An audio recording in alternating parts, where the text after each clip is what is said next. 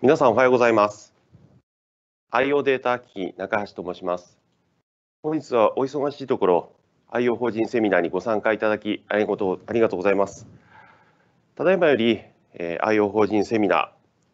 えー、IO ナスなら簡単買い替えデータ移行を楽にするコツを始めさせていただきたいと思います。本日のテーマである NAS は、まあ、皆様のオフィスではもうインフラとして欠かすことができない、えー、そういう機材としてお使いいただいていると思います。ですがこの NAS 中に使っているハードディスクが、えー、長い間使っていくと消耗劣化をしていってしまいます。ですから、えー、弊社としましては、まあ、お客様にはですね4、5年おきに、えー、ハードウェアのリプレースな NAS の買い替えをお勧めをしております。そんな時に、えー、少し問題となりますのが現在お使いの NAS から新しい新しい NAS へデータをすべて丸々引っ越しをするという、その作業がいささか、えまあ、データ量が多いとですね時間がかかったりとか、え、手こずることがあります。え、そういった時にのためにですね弊社 IO データの NAS ではデータの引っ越しのツール簡単に引っ越しができるツールを、え、いくつもご用意しております。え、本日のセミナーではそういったところ実際にデモンストレーションでご覧いただきながらえー、ぜひですね、えー、安心をして、えー、新しいで、えー、ナスの方へお引越しいただけるようにというふうに考えながら進めさせていただきたいと思っております。えー、本編に入ってまいりたいと思います。本日のセミナーは弊社東京オフィステクニカルプロモーション課の寺崎よりお送りいたします。それでは寺崎さん、よろしくお願いいたします。はい、中橋さん、ありがとうございます。皆さん、こんにちは。IO データ機器の寺崎と申します。本日は IO ナスなら簡単、買い替えデータ移行を楽にするコツと題しまして、NAS に保管されている企業のデータを安全に管理するために、定期的に NAS を買い替えていただくためのセミナーを始めたいと思います。お申し込みいただきました時点でいただきましたアンケートにつきまして、アンケートにありましたご質問につきましては、えっと、セミナーの合間でも回答をしていきたいと思います。全体の時間は1時間を予定しております。どうぞよろしくお願いいたします。まず最初になぜ NAS の買い替えが必要なのかと題しまして、メーカーや販売店様がなぜ定期的に NAS の NAS を買い替えを進めるのかという理由についてご説明をいたします。皆様は NAS をオフィスや事務所にご導入いただいてからどのくらいの期間使用されていますでしょうか？あまり気にされたことはないかと思います。もし確認したことございませんでしたら、ぜひ IO データの状態監視サービス NASAS で一度ご確認いただければと思います。NASAS では今までどのくらいの時間 NAS が動いていたかということを記憶しております。ほとんどの方は NAS の電源を一度入れましたら、シャットダウンすることなく、いつの間にか何年間も使用していたということがあるのではないでしょうか。ご覧いただいているグラフは、NAS を使用し始めてから年ごとの故障率をシンプルに示したグラフになります。故障率は3年を過ぎた頃から徐々に上昇していることがわかります。そのことから、NAS は4年から5年目での買い替えをご提案しております。そうは言いましても、実際問題として多くのシステム管理者にとって NAS の乗り換えの優先順位は低く後回しにしたいというのが本音かと思います。しかし、ハードディスクが故障したり、NAS 本体の電源が入らないなどの重大な障害が発生しますと、企業データにアクセスできなくなり、最悪企業活動が止まります。この傾向は、梨の利用年数が長くなるほど高まっていきます。定期的に梨の引っ越しをしませんかとご提案をする理由はまさにそこにございます。そこで今回のセミナーでは、IO のナスなら面倒なく引っ越せます。故障する前に新しいナスに入れ替えましょうということをお伝えすることを目的としております。ぜひ、導入、ご提案の際にご参考としていただければありがたく存じます。それでは、ナスを買い替えるメリットと題しまして、新しいナスの魅力についてお伝えいたします。今回のセミナーでは Linux ベース NAS に注目、Linux を搭載した NAS に注目をし、6年前に生産終了したモデルと現在発売中のモデルと比較してまいりたいと思います。比較すべきポイントを3つにまとめました。まず最初の比較ですが、今の NAS は旧モデルの NAS と比べましてハードディスクに優しいです。つまり酷使しておりません。現在の Linux ベースの NAS で採用している拡張ボリュームは、レイドのように常にハードディスクをすべて動かしているというわけではなく、データを記録する際には、失礼しました。データを記録する際には、ハードディスク2台だけが動作し、データを読み込む際には、そのうちの1台だけが働いております。つまり、レイドよりもハードディスク全体としては休憩している時間が長いというのが特徴でございます。この結果は数年後に現れます。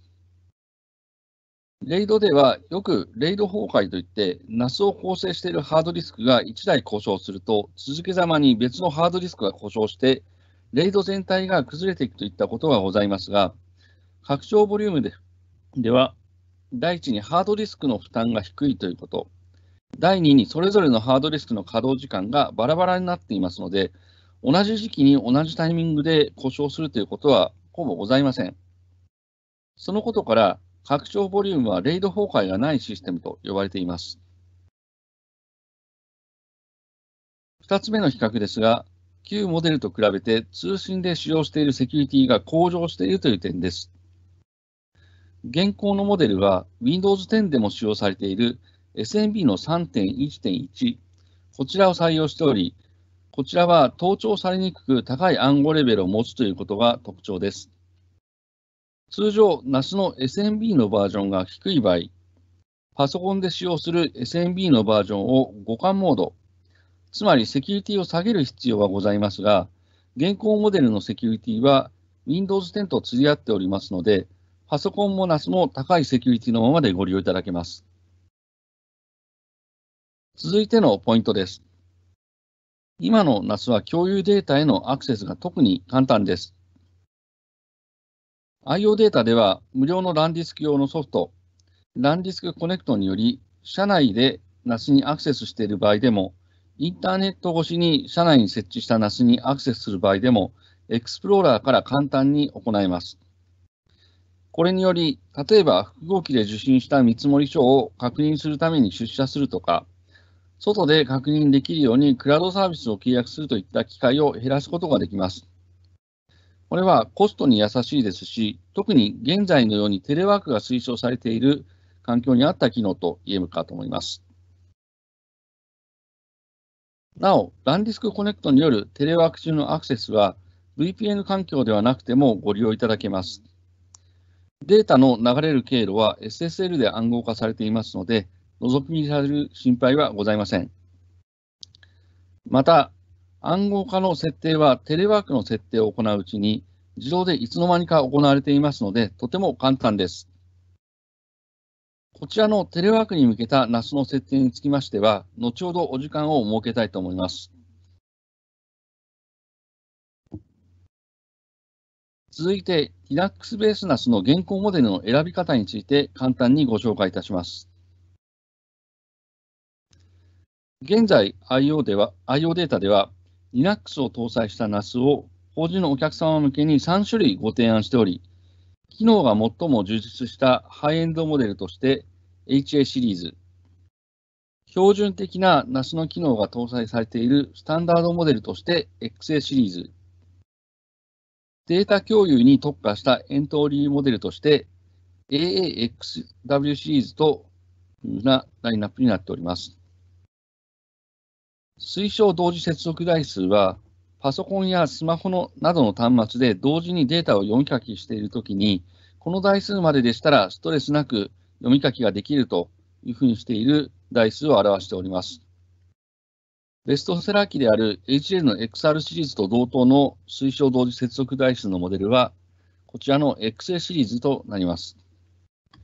なお、この推奨同時接続台数は、この台数以上の端末が NAS に接続できないという意味ではございませんので、すべての端末が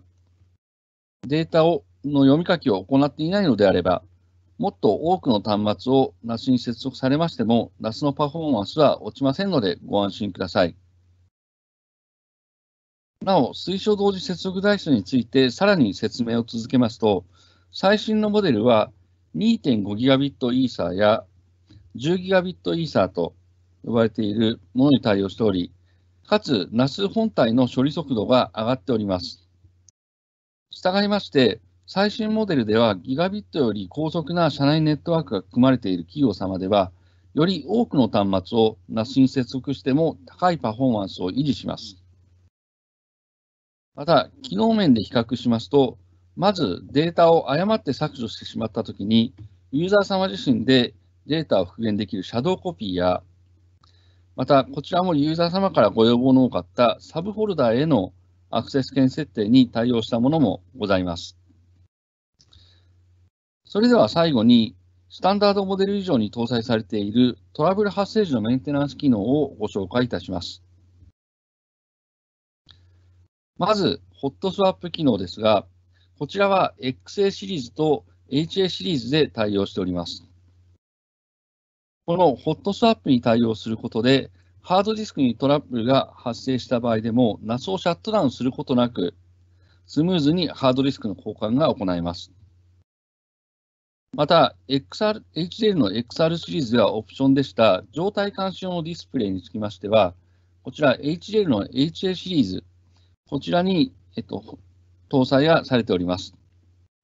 こちらのディスプレイでは、LAN ディスクのコンピューター名や IP アドレスなどをすぐに表示させることができるだけでなく、NAS にトラブルが起きた際にはお知らせを表示いたしますので、管理者様による NAS の運用を大いに手助けいたします。なお、今回ご紹介いたしました3シリーズでございますが、設定画面は統一されていますので、いずれのシリーズをご購入いただく場合、ご提案いただく場合でも同じ操作方法がご利用いただけます。それでは、古い NAS から現行の NAS に引っ越すためのツールについてご紹介いたします。IO データでは、弊社の NAS 同士での引っ越しだけでなく、他社の NAS から弊社の NAS に引っ越すことを想定した様々なツールを無償でご提供しております。今回はその中で、弊社の Linux ベース NAS から同じく弊社の Linux ベース NAS に引っ越すことを想定した引っ越しツール、HXAA XR XV 移行パッケージ、こちらをご紹介いたし、ご紹介したいと思います。ちょっと名前が長いですので、以後の説明では移行パッケージと呼ばせていただきます。移行パッケージは、引っ越し先の NAS に組み込んでいただくことで、組み込んでいただくことで、運用中の NAS から共有データや設定情報を簡単に引っ越しすることができるツールです。移行パッケージで指定することができる運用中の NAS は、ここ10年で販売されている、IO データが販売している法人向け Linux ベース NAS のほぼ全てとなります。では、どのような項目が引っ越されるのかというところ、言いますと、移行パッケージでは、ネットワーク設定や共有設定、名前設定、アクティブディレクトリー参加時のアクセス権設定と、あとは共有で共有されているデータそのもの、こちらをこの移行パッケージで移行することができます。したがいまして、最終的に運用中の NAS を引っ越し先の NAS に切り替えますと、運用中の NAS と同じ情報で越し先の NAS が動作いたしますので、クライアント PC から見た場合、今までと同じように新しい運用中の NAS にアクセスすることができます。また、引っ越しの作業を行われるタイミングについてお伝えいたします。移行パッケージは引っ越し開始時点の状態をミラーリングいたしますので、従業員の方が NAS にアクセスしていない業務時間外での引っ越しをお勧めしております。具体的には土日や連休の初日に引っ越しするようなスケジュールを組まれることをお勧めいたします。続いて移行パッケージの特徴を2つご紹介いたします。1つ目の特徴ですが、移行パッケージによる引っ越し作業は、引っ越し先となる新しいナスだけで行うようになっております。従いまして、運用中のナスに対する特別な設定を行ったりとか、あとは引っ越し中に管理者のパソコンを常にナスに接続しておくといったことは必要ございません。2つ目の特徴としては、作業の報告としてログを残すという点でございます。こちら図のように共有フォルダごとにデータのコピーが終わったかどうか、引っ越しができたかどうか、またどのようなファイルがコピーできたか、コピーできなかった、スキップされたかといった情報がテキストデータとして残るようになっております。このログにつきましては、システム管理者の方が新しいなしに設定を切り替える際の目安としていただいたり、引っ越し作業がなされをなされている販売店様の場合でしたら、お客様への作業報告用としてご活用いただければと思います。なお、引っ越し中にコピーできないデータが存在したときの、この夏の動作でございますが、コピーを、コピー作業を中断するのではなく、スキップをして作業を続けます。この時にスキップしてしまったコピーできなかったファイルにつきましては、大変お手数ですが、ログをご確認いただいて、別途パソコンでコピーをするなどの対処をお願いいたします。それでは実際に引っ越しのデモンストレーションをご覧いただきたいと思います。今回、デモ環境としては、運用中の NAS 左側として6年前に生産終了になりました HDL の XR シリーズを、右手、引っ越し先の NAS としては、2020年の6月から販売を開始しています HDL の XA シリーズを用意しております。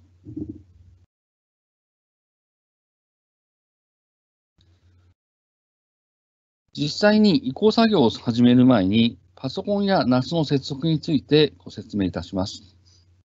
まず、接続につきましては、左側の図にございますように、インターネットにつながる環境に、運用中の NAS と引っ越し先の NAS をそれぞれネットワークで接続をしてください。そして、運用中の、運用されている NAS につきましては、以下の3つのことを行ってください。まず、第一、IP アドレスを固定してください。こちらは NAS がネットワーク上で迷子にならないようにするための設定でございます。2つ目、コンピューター名を確認してください。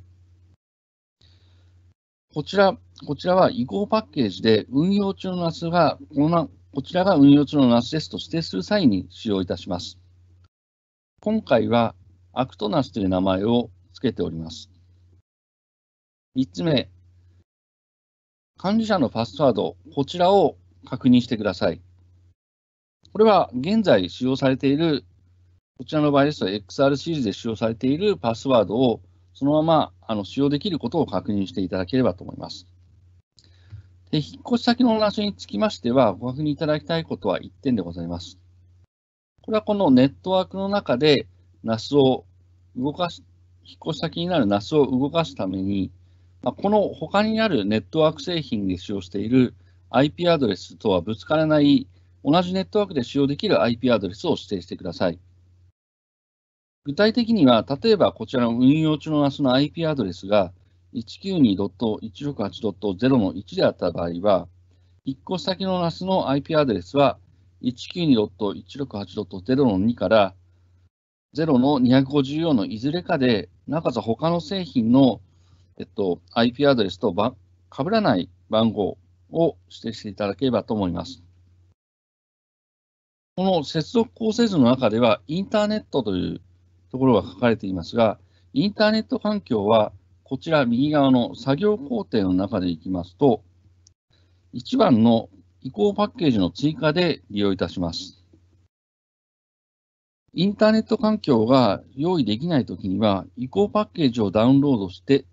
パソコンにダウンロードして、夏に追加するといったことも可能ですが、今回そちらの方法の説明につきましては割愛いたします。それでは実際の設定画面をご紹介いたします。画面を切り替えますので、少々お待ちください。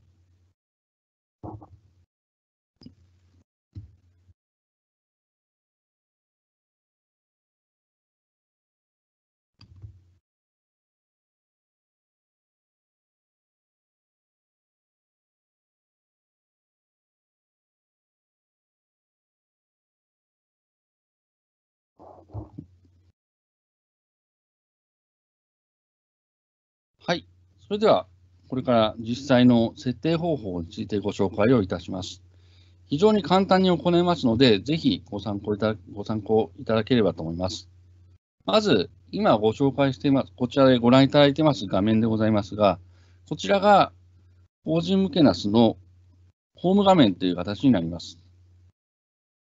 こちらの画面は3シリーズすべて一緒になっておりますので、これからお伝えいたしお伝えいたします方法はすべて共通というふうに見ていただければと思います。それではまず移行パッケージを追加していきたいと思います。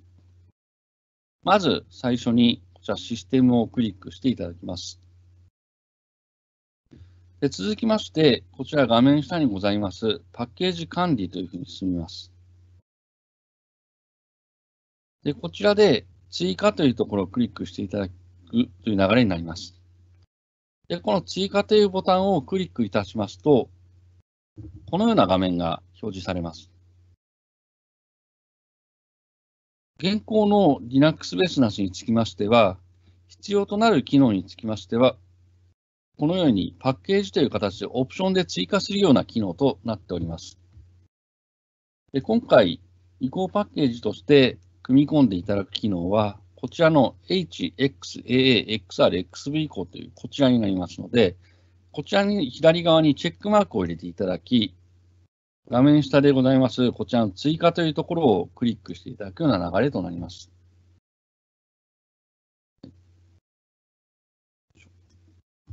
で、このように追加をしていただきますと、こちらの設定画面上で見ていただいたときに、こちらホームに一度画面を戻っていただきます。こちらホームに戻っていただいて、データバックアップというところをクリックしていただきますと、こちらの HXRXV 移行という画面が、ボタンが表示されるようになります。でこちらをクリックしていただきますと、この移行パッケージの設定画面となります。設定画面、こちらございます通り5行しかございません。この5行の項目がこの移行パッケージの設定のすべてとなります。それでは続けて行っていきたいと思います。こちら、移行元と書いてあるところには、先ほどご確認いただきました、運用中の NAS のコンピューター名を入力していただきます。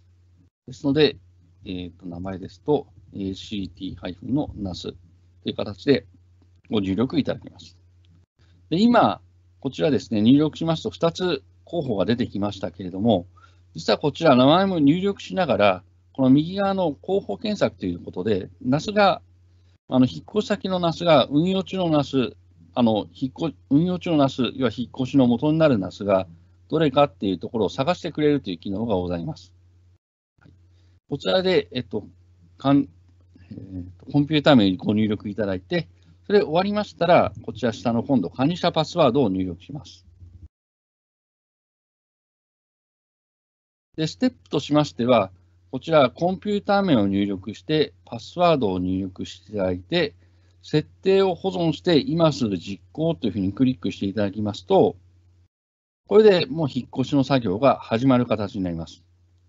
で、クリックいたしますと、運用中の NAS から引っ越し先の NAS に対して、設定情報の読み取りと共有データのコピーがされる形になります。もし土日等でですね、引っ越しをしたいっていう場合でしたら、こちらスケジュールで指定をして実行ということもできますので、こちらご参考いただければと、ご参考いただければと思います。実際にこちら移行の方、今すぐ設定を保存して、今すぐ実行というふうにしますと、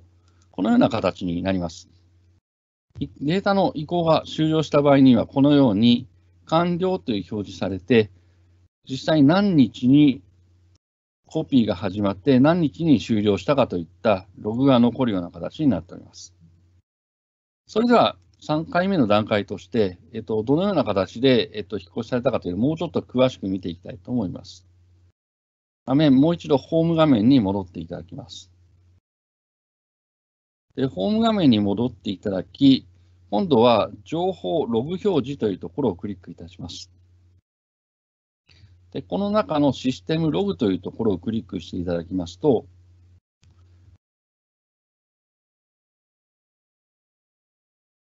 はい、このように引っ越しが行われましたよというログが残るようになっております。ここですね、見るところとしましては、こちら、カテゴリーのところで HXR、XB 移行で設定を変更しました。移行を開始しました。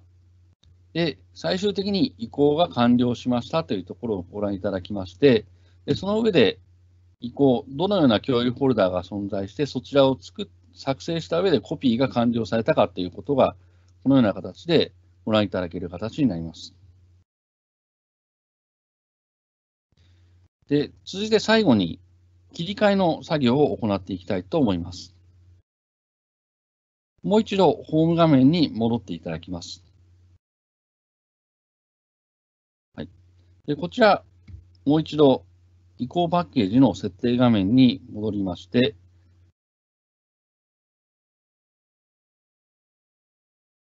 はい、このような形になります。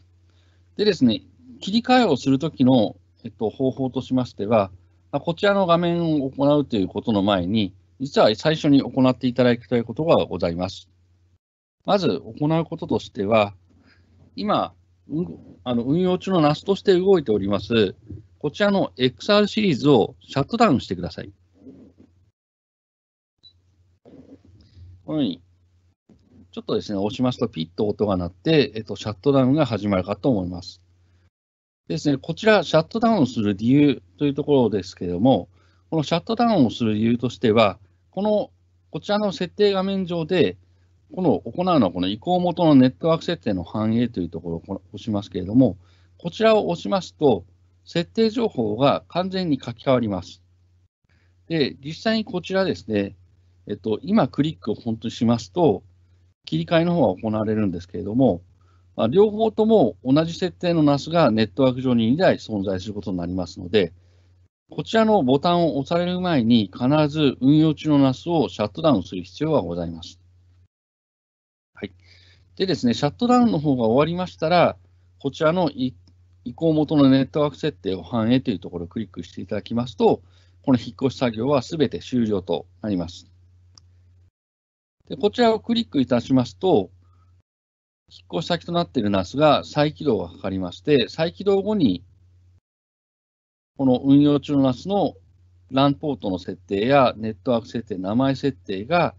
今まで動いていた運用中の NAS と同じものに切り替わるというような形となります。はい、このようにですね、えっと、引っ越し作業につきましては、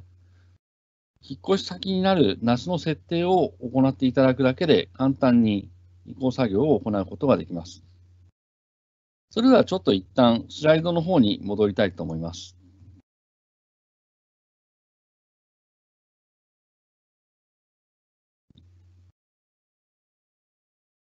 それでは、引っ越し先の流れとして4つ目いきますと、でですね、事前にご質問いただきましたアンケートの中にですね、データ移行中に NAS のアクセスを止める必要はあるでしょうかというご質問をいただいております。先ほど移行パッケージの引っ越し作業はまとまった業務時間外に行っていただくことをお勧めしておりましたが、移行するデータ量が大量の場合、どうしても移行作業が業務時間に重なってしまうということは十分にあり得るケースだと思います。その際には、移行パッケージを日にちを空けて2回実行するということで、最終的に引っ越しが行えます。ポイントとしては、2回目の実施を行う際には、必ず1回目の作業、こちらのコピーが終わっているということを確認していただいた上で、この2回目の引っ越し作業、先ほど行いました切り替えの作業を実施していただければと思います。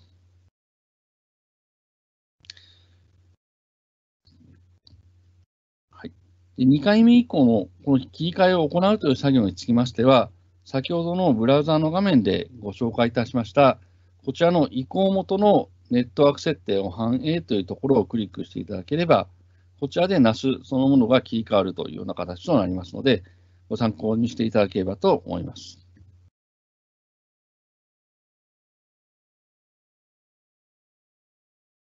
それではスライドに戻りたいと思います。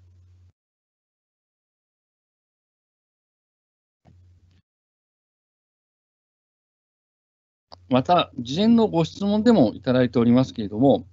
もし他社製の NAS であるとか、もしくはあの Windows サーバー、また Windows ストレージサーバーと呼ばれている Windows 系の NAS から Linux ベースの NAS に引っ越す際には、こちらの移行パッケージはちょっとご利用いただけませんので、その場合には、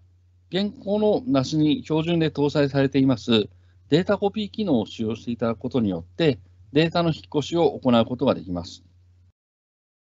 こちらは共有フォルダーと共有フォルダーを指定していただいて、データの部分を引っ越すというような流れとなっております。先ほどの移行パッケージと共通のこととしましては、こちらの引っ越し先の NAS 側の設定だけで、こちら作業が行えますので、運用中の NAS 側の方を何か設定するといった必要はございません。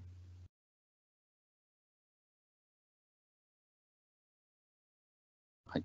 なお、データコピー機能でご提供するのは、あくまでデータの部分のコピーのみというふうになりますので、従いまして、移行パッケージと異なり、引っ越し先の NAS に対してのコンピューター名を決めたりとか、IP アドレスを設定する、また、共有フォルダを作成したり、その共有フォルダへのアクセスするユーザーや設定情報を作成するといった情報、ことは、管理者様の手で行っていただく必要が別途ございますので、ご注意いただければと思います。そのことからデータコピーで NAS の引っ越しをされる場合には、運用中の運用中の NAS の設定情報を写し間違えないように、設定情報をまとめましたシートを作成していただくことをお勧めいたします。このシートの方に必要な情報としましては、運用中の NAS のコンピューター情報、コンピューター名や IP アドレス、ユーザー名とそのパスワード、共有フォルダ名、あとは共有フォルダにアクセスできる管理者のパスワードがございましたら十分かと思います。なお、運用中の NAS にどのくらいのデータが存在していて、引っ越しにどのくらい時間がかかるのかということにつきましては、弊社ではランディスク H アセスメントツールというのをご用意しております。こちらのツールが出しました結果に合わせまして、予想転送時間、こちらが1時間から24時間以内ということであれば、土日に作業を行っていただき、それ以上かかるときには、3連休以上の休みの日に引っ越しをするといったスケジュールが立てやすくなるかと思います。なお、検証結果につきましては、あくまで作業時間の目安としてご参考にしていただければありがたいです。また、こちらツールの名前、ランディスク H アセスメントツールとなっておりますが、現行の HL の XR シリーズや他のシリーズの検証時間の目安としてもご利用いただけますので、ご安心ください。さて、続きまして、社内の NAS にアクセスするためのテレワーク設定についてのデモンストレーションを行いたいと思います。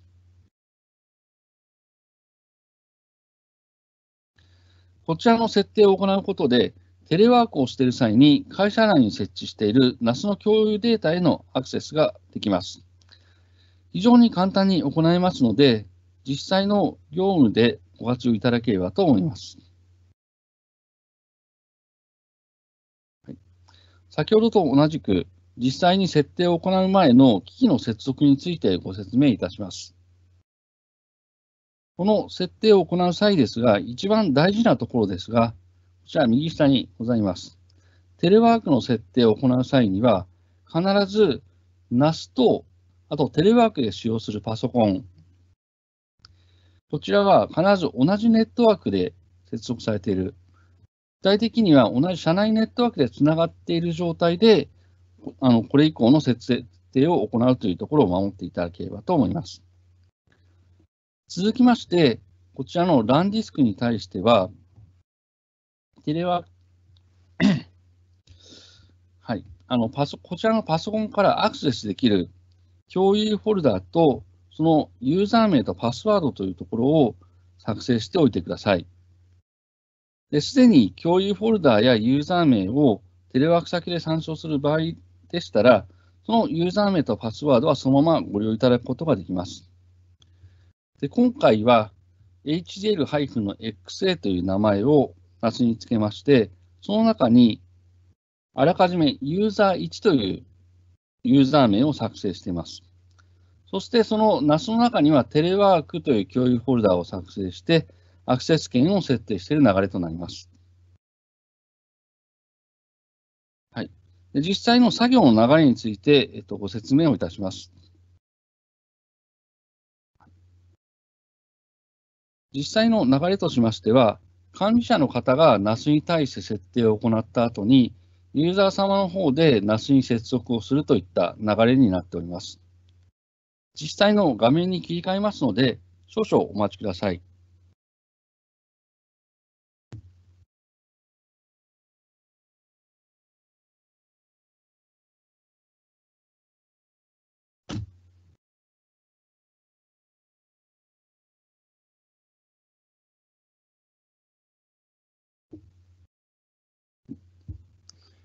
はい。実際のですね、設定画面のところからまたあの入らせていただきたいと思います。こちら、テレワーク向けに設定に行う NAS の機能につきましては、後付けで追加する先ほどと同じようなパッケージの追加という方法を行います。簡単に流れをおさらいいたしますと、システムをクリックしまして、右下のパッケージ管理というところをクリックします。そして追加というところを押していただいたときに、今度追加していただくパッケージにつきましては、こちらですね、リモートリンク3というこちらの名前を追加していただく形になります。ちょっと消えてしまいました。申し訳ないです。こちらにチェックボックスを入れていただいて、続いて追加というところをクリックしていただきますと、こちら NAS の方に、えっと、テレワークで設定するための機能が追加された形になります。ですね、設定に戻りますと、はい。えっと、これですね、追加をいたしますと、今度ホーム画面を押したときに、共有というところをクリックしたときに、リモートリンク3というアイコンが追加されます。はい。で、こちらでですね、同意するというところをクリックしていただいて、利用規約に同意して次へ進むというふうに進んでいただきますと、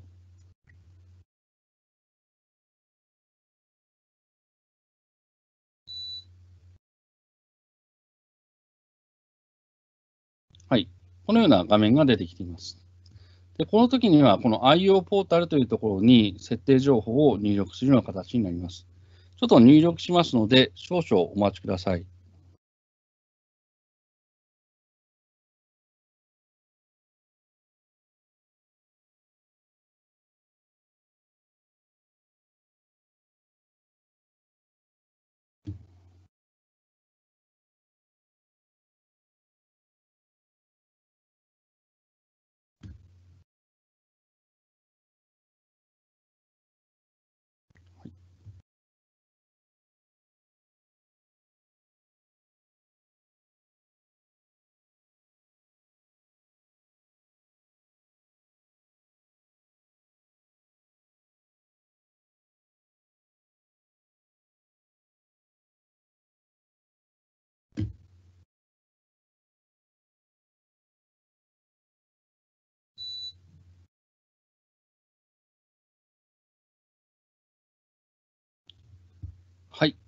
えっと、登録作業がですね、完了いたしますと、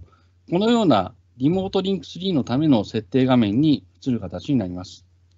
で、ここの画面上で行っていただくこととしましては、テレワークをしよテレワークで外から参照できるようにしたいフォルダを選択するような形になります。この場合、テレワークというフォルダを外から参照できるようにしたいですので、こちらリモートリンク3の下にあるこちらに有効というところをクリックして、適用というふうにクリックしていただきます。こちらで、えっと、管理者の方が NAS に対して行う設定は以上となります。それでは続きまして、利用者となるパソコン側の方で行わなければいけない作業というところを入りたいと思います。はい、実際行うこととしましては、まず IO データのホームページから LAN ディスクコネクトをダウンロードいたします。で右上の検索タブのところに LAN ディスクコネクトと入力していただいて、検索ボタンをクリックしていただきますと、こちら画面の真ん中のところに LAN ディスクコネクト NAS 関連というボタンが出てきますので、こちらをクリックいたします。はい、でこちら画面の真ん中にございます、サポート取扱説明書というところをクリックしていただいて、こちらの LAN ディスクコネクトと書かれているところ、こちらをクリックして、利用に利用になるその OS ですね、を選んでいただいてダウンロードしていただくような形になります。で、こちらダウンロードしたファイルをダブルクリックなどをしていただいて、インストールしていただきますと、こちら、パソコンの中にですね、このようなアイコンが出てくる形になります。ちょっとお待ちください。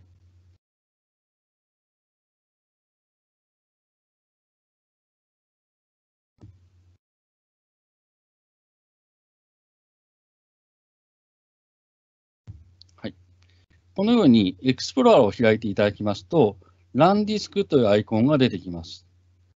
で、このランディスクをクリックいたしますと、はい、クリックしていただいて、ローカルというところをクリックいたしますと、このように NAS が表示されるような形となります。で今回、HL の XA シリーズに対して、外からアクセスできるようにしたいというふうにしたいので、こちら、HA の XA と書かれているところを右クリックしていただき、リモート登録というところをクリックしていただきます。で、ここで、えっと、リモート登録のユーザー名とパスワードというのを入力画面が出てきますので、こちらで先ほど作成しましたユーザー1というユーザーを登録をしていただきます。ユーザーの1、ユーザーの1という形で入れていただきまして、OK というふうにクリックしますと、今度はですね、こちら左上をご覧ください。リモートと書かれているところにですね、こちらの HL の XA というアイコンが追加される形になります。はい。ご覧いただけますでしょうか。で、こちらで、えっと、リモートの設定は終了となります。で、この状態で、今あの全く同じネットワークの中に NAS とパソコンがいる状態ですので、えっと、普通にアクセスはできますけれども、同じように、例えばあのモバイルルーターとか、ご家庭内のインターネット回線に、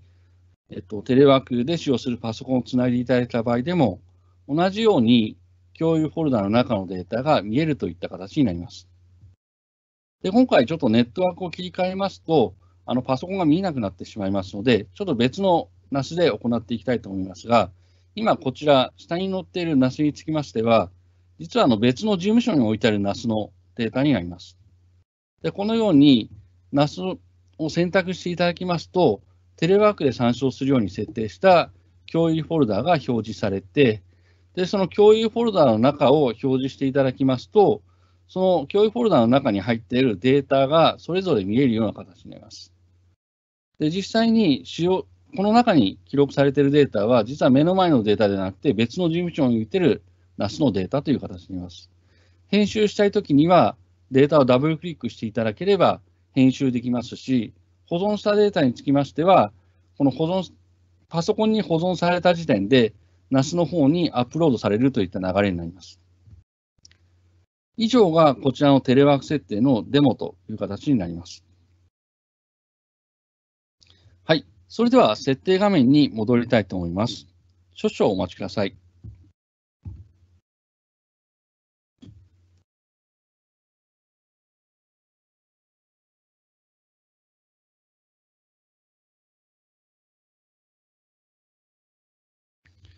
なお、今回ご紹介したご説明につきましては、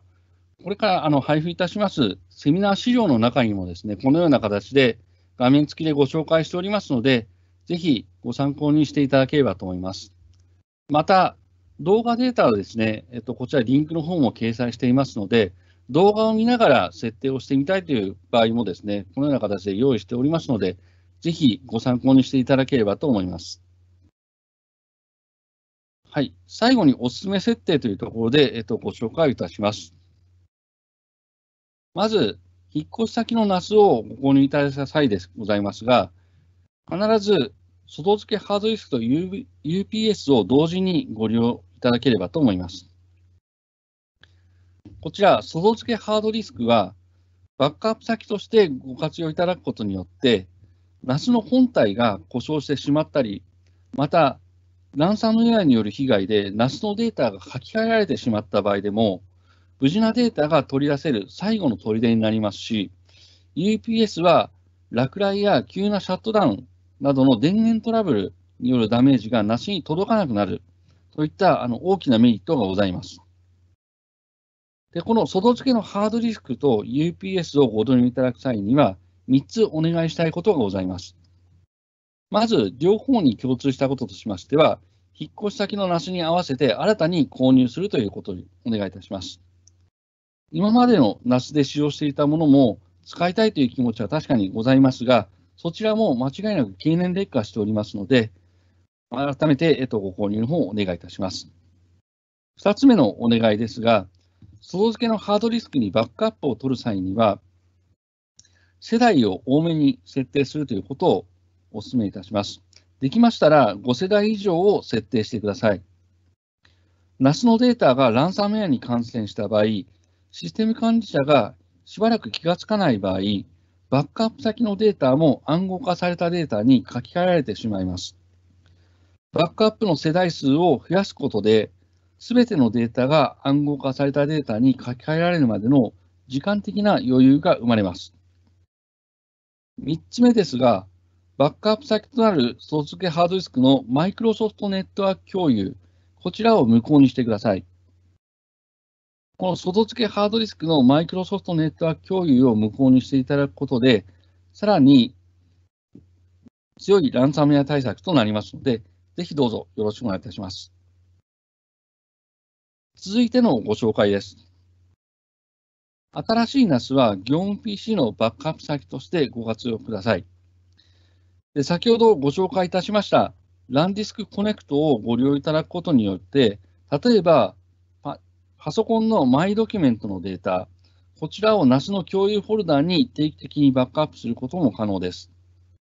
で保存先をリモートの中のフォルダに指定していただければ、